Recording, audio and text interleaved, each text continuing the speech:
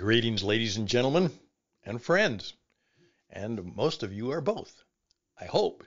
Some of you are just perhaps listening in and perhaps were uh, attracted by the title and you're wondering what is this guy all about. Well, the guy is Stan Houston, and uh, I have a story for you today, and it begins this way. As the man pleaded his case, Father Maximilian Kolbe came forward and offered his life for the one pleading. The German commandant of Auschwitz, probably rather shocked, agreed. And Kolbe, with nine others, stripped naked and entered the three foot high concrete bunker.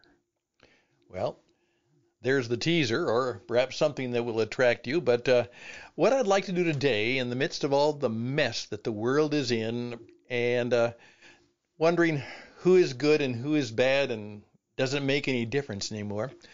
I thought Thursday should be a good day to uh, have a, a story of great love, compassion, and heroism. Yeah, love, compassion, and heroism. What a wonderful set of qualities. I would love to be convicted of all three someday. So, that's what the program is going to be about on this Thursday, so I hope you'll join me and stay with it, and perhaps uh, you'll have something to say about it all. I'm Stan Houston. Interesting ideas. We want you to be able to live a better life starting right now. And the program begins right now.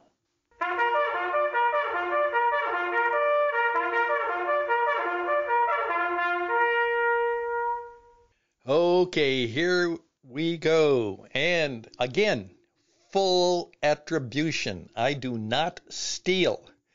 And uh, this is from an article, and it's called The Sacrificial Love of St. Maximilian Kolbe, and that's spelled K O L B E.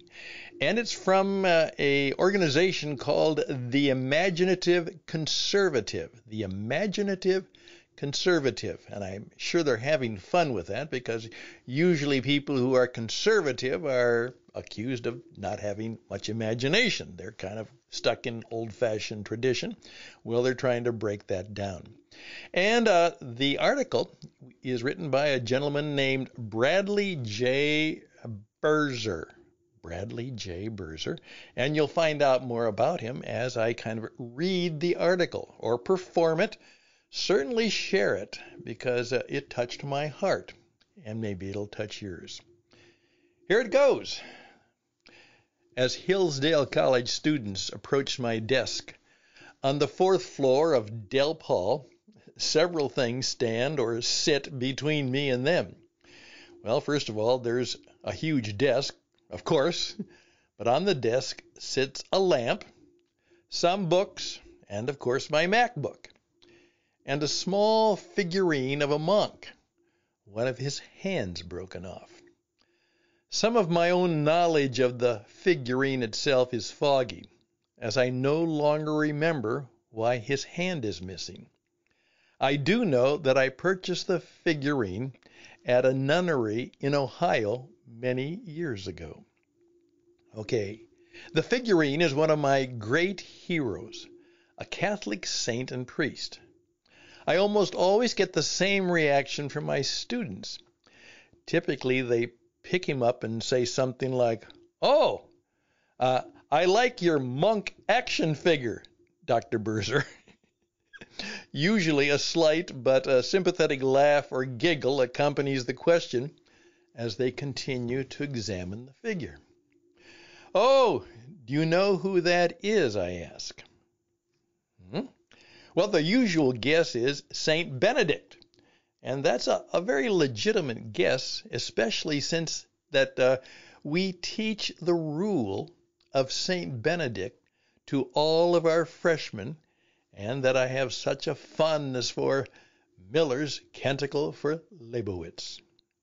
No, I explain, this man died on August 14th, 1941, in cell block 13 the worst of all punishments handed out by the National Socialists in Auschwitz prior to the employment of the ovens and the gas chambers. Here's the deal St. Maximilian Kolbe, a Roman Catholic priest, had been taken prisoner by the Nazis, as had been a vast number of his fellow men Poles, Jews, Catholics, and Lutherans. Uh, the Nazis seemed to avoid discrimination when it came to state sanctioned murder. On the last day of July 1941, a prisoner had attempted to escape the terror camp.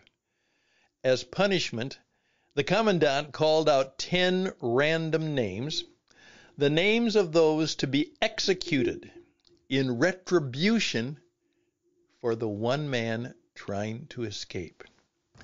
One of the names called was, or belonged, or rather had been forced upon a husband and a father. As the man pleaded his case, Father Kolbe came forward and offered his life for the one pleading. The commandant, probably sh- rather shocked, agreed. And Kolbe, with nine others, stripped naked and entered into the concrete bunker. Deprived of food, of water, of light, and toilets, the men survived unbelievably for two weeks. Man, madness and cannibalism had never overcome them. As the incarnate soul made in the image of Christ, grace pervaded that room. When the commandant had the room searched two weeks later, only to find the men and Father Kolbe alive, he furiously ordered them all to be injected with carbolic acid. The man who removed Kolbe's body offered a wondrous testimony under oath. Kolbe, he said, had been in a state of definite ecstasy. His eyes focused on something far beyond the bunker. His arm outstretched ready to accept the death of the chemicals to be injected in him. At this point in the story, the student almost always puts down the figure of St. Maximilian Kolbe. A little surprised, a little overwhelmed, a little impressed, and a bit of reverence.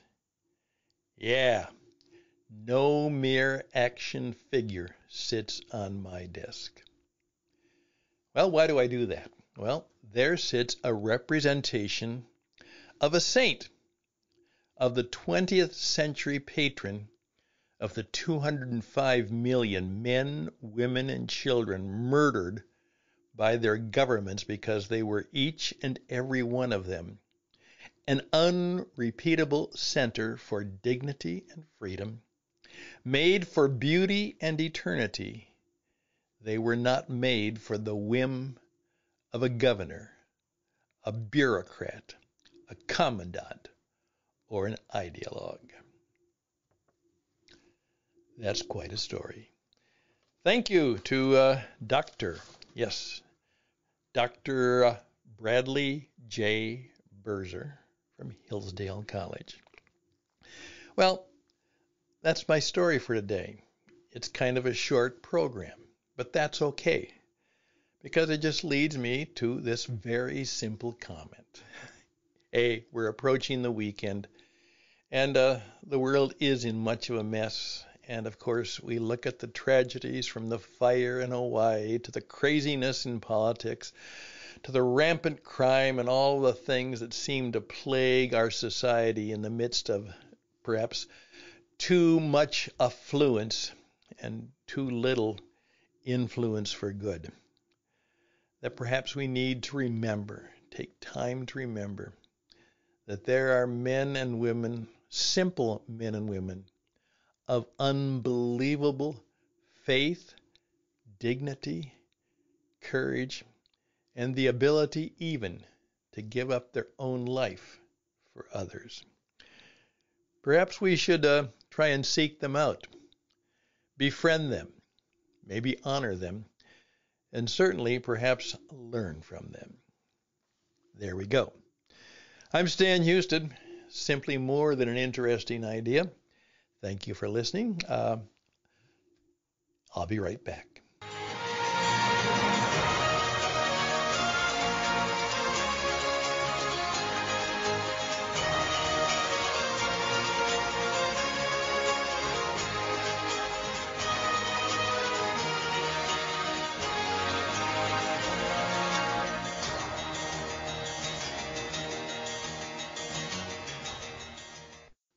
Thank you for your time. A simple, what, 10 minutes and 25 seconds as of right now. And uh, I hope it's been helpful to you. Again, why don't you look up the story? It said Maximilian Kolbe, M A X I M I L I A N, Kolbe, a Polish saint of the 20th century, and certainly a man for all ages and a man for eternity. And uh, again, perhaps uh, you'd like to share with me. I'd love for you, if you've got some of those stories, those heroic stories of people that maybe you even know them personally, or maybe you just heard their story and admire them at a distance. Maybe you actually have a, a figurine, a, a little statue, a, a little monument to a particular saint. Oftentimes, when I uh, speak, I've been known to have a little glass, a little vase, and I have a, little white rose sitting on the platform that uh, is there. And I never say anything about it. I just put it there. And if someone does ask me about it, I may say, well, that's to remember somebody and some group of people who were brave and courageous. Uh, this is in honor of a group called the White Rose Society. This is in honor of some young men and women, brave and courageous, of the White Rose Society. And you know what? I would encourage you right now to put that in your search and see if you can't find the story of the White Rose Society. And then if you have, a, again, one of those stories, or if you have a little symbol or an icon and you'd love to share that story, that's what this radio program is all about. It's for those people who have something to say. Unlike most of the people on radio and TV today who have nothing to say, you really have something to say that's worthwhile. It's a story of courage, of wisdom, insight, intelligence, good humor, um, of good people maybe even great people. Uh, why don't you share it? I'd love to have you on the program and you could share your story. Again, reach out to me, Stan Houston at gmail.com, Stan Houston at gmail.com. Check out my web stage. Here's my only self promotion, witradio.net, witradio.net. We are in the business, as we say, of helping you reach your audience and bring your message to life and perhaps like uh, Maximilian Kolbe, gain a touch of immortality. Have a good weekend if I don't talk to you before then. Best and blessings. Till next time, bye for now. Tis a gift to be simple, tis a gift to be free. Tis a gift to come down where we ought to be. And when we find ourselves in the place just right, twill be in the valley of love and delight.